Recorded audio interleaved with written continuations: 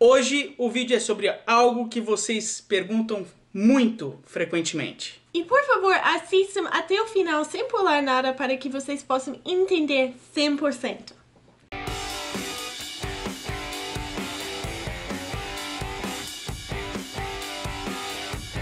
Antes de começar esse vídeo, gordinho, está aparecendo o que aqui para as pessoas? Nossas redes sociais. Estão todas aí também na descrição. Bora conversar? Bora. Simbora. Há um tempo nos nossos vídeos aí, desde que a gente começou no YouTube, a galera vem perguntando para a Abi o que ela tem, certo? Por que, que ela vai muito nos médicos? Por que ela toma tantos remédios? O que ela tem? O que ela sofre? E hoje estaremos explicando um pouquinho disso e muito mais para vocês. Muito tempo atrás eu sofri um trauma que me trouxe algumas doenças. Pelo menos por enquanto eu não posso falar do que se trata aquele trauma, porque falar sobre me faz mal. Agora a Abby vai estar explicando mais ou menos as doenças que ela tem e quais os sintomas que algumas delas causam. A doença principal que eu tenho e a que causa basicamente o resto das doenças que eu tenho é o transtorno de estresse pós-traumático. Esse transtorno vem de um grande trauma que a pessoa tem sofrido. Quando um trauma for muito grave, o cérebro da pessoa não consegue processar o horror e acaba travando no modo pânico constante. Eu vou falar alguns sintomas do estresse pós-traumático e lembrando que existem mais, mas uh, esses são os principais e os mais comuns. Quais são?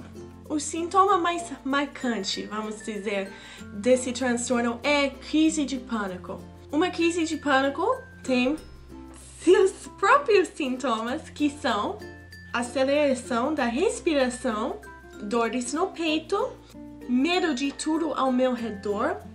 Quando eu fico em crise, eu fico sem saber onde estou ou o que está acontecendo no momento, pois eu fico tão um, focada nos sintomas daquela crise que eu não consigo pensar e meu cérebro simplesmente deleta todas as informações necessárias.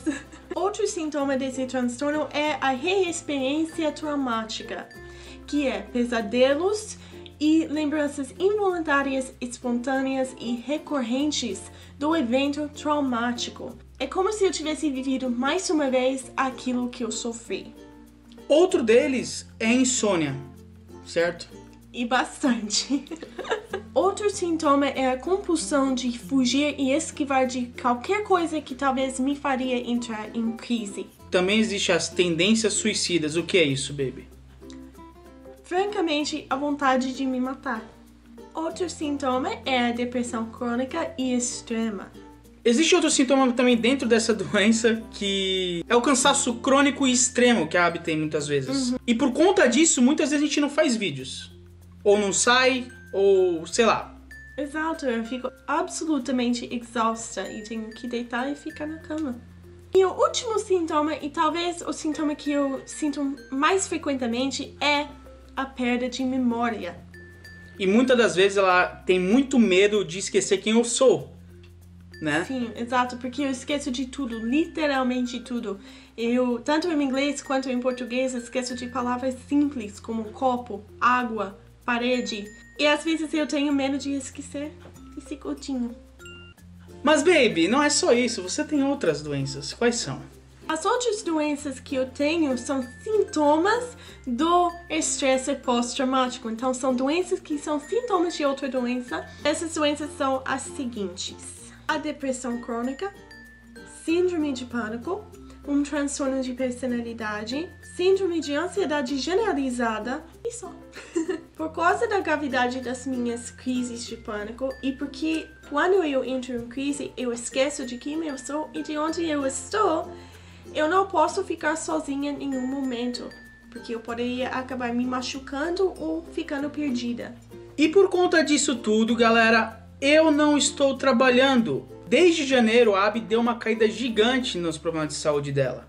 A gente já tinha sentado, conversado, analisado uma maneira para eu trabalhar, mas infelizmente deu uma grande queda na saúde da Abby. Ele é a única pessoa que consegue me acalmar quando eu estiver ou quando eu estou em crise. Nem minha própria terapeuta consegue fazer isso 100%. E ela mesma disse que era essencial que eu ficasse em casa com a Abby. Senão eu teria que ficar internada. Vocês poderiam até falar, nossa, mas por que, que a mãe da Abby não fica com ela e você vai trabalhar? Explica pra eles. Bem, para explicar direito, eu tomo vários remédios. Eu tomo mais ou menos 10 remédios e todos são caros. Pelo menos seriam se não tivéssemos um bom plano de saúde. Que o trabalho da mãe da Abby dá pra ela e pra mãe dela. Exatamente. Eu não teria comprar nem, nenhum, nenhum remédio dos meus vários remédios se minha mãe não estivesse trabalhando. Nós pesquisamos entre os remédios da Abby que um deles, sem plano de saúde, seriam mais de 1.300 dólares. E no total de todos seriam quanto, baby? Todos custariam bem mais do que 2.500 dólares por mês. Sendo bem honesto com vocês, porque a gente tem que ser honesto com vocês. A gente não gravou esse vídeo antes porque a gente tava pensando como falar pra vocês. Porque é um assunto muito delicado. Eu, a Abby e a mãe dela sentamos e conversamos sobre a situação e vimos que não daria para eu trabalhar agora. Apenas o custo dos meus remédios seria mais de duas vezes O meu salário? o, o salário mínimo que ele ganharia no começo. Ah, mas vocês não têm familiares para cuidar da Abby enquanto Dan trabalha? Galera, temos familiares, mas Moram super longe e eles têm as vidas deles e não podem me ajudar. Ah, mas nós temos amigos aqui para te ajudar? Temos, mas eles não vão deixar o trabalho deles para ajudar a Abby em casa e eu ir trabalhar. Exato, exato. Então, galera, eu espero de verdade que todos vocês assistiram esse vídeo até o final, porque essa é a verdade. Por um bom tempo, eu não estava querendo gravar esse vídeo porque para mim é meio difícil, meio complicado falar sobre minhas doenças. Ah, é um assunto, como o Daniel disse, é um assunto muito delicado. E muito pessoal. Exato. E outra, galera, a vida nos Estados Unidos é boa? É fácil. Sim, mas nem todos têm a vida igual. Nem todos têm as dificuldades que os outros têm. Então eu espero do fundo do coração que vocês tenham entendido e podem ficar tranquilos que assim que eu trabalhar, vocês vão ser os primeiros a saber. E a Abby provavelmente vai demorar anos para trabalhar, certo? Sim, sim. Na verdade, é, nem temos isso como uma meta agora. Nossa meta agora é de eu poder ficar menos de 12 horas por dia dormindo. Porque nem estudando ela tá conseguindo, galera. Ah, mas então parem o canal por um tempo e cuidem da Abby. Galera, a Abby já disse até em vídeos que o canal ajuda muito ela. Muitas vezes eu não levantaria da cama se eu não tivesse um vídeo para gravar, se eu não tivesse vocês me esperando e esperando um conteúdo no Ou canal. te incentivando em comentários, ou, Exato. sabe, os comentários de vocês, o que vocês falam pra Abby, o que vocês falam pra mim, sendo positivo ou não, a gente gosta de ler. Hoje é um belo exemplo do poder de vocês. Hoje eu não teria levantado da cama, eu não teria feito a comida hoje, eu não teria me arrumado, eu não teria feito minha maquiagem se eu não tivesse esse vídeo para gravar agora. Agora eu estaria na cama de pijama, tendo feito nada o dia inteiro. E galera, a gente não tá fazendo esse vídeo pra ser um drama e pro canal dar um boom, e sim porque muitas pessoas vinham perguntando, ok? Muitas. Então entendam, a mãe da Abby sabe que eu não tô trabalhando. A gente sabe porque eu não estou trabalhando e agora vocês estão sabendo porque eu não estou trabalhando.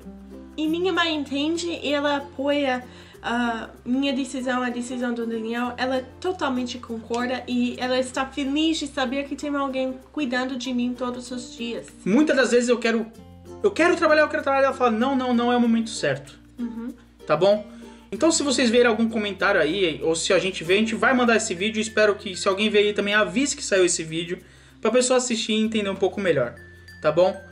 Se você assistiu o vídeo até aqui, a hashtag Abilinda. Oh, baby, oh. Deixe o seu gostei, favorita, comenta, compartilha e se inscreve no canal se você chegou agora. Demorou? Demorou? Demorou lindo. Ok, Godzilla. Tamo junto Misturado. e tchau!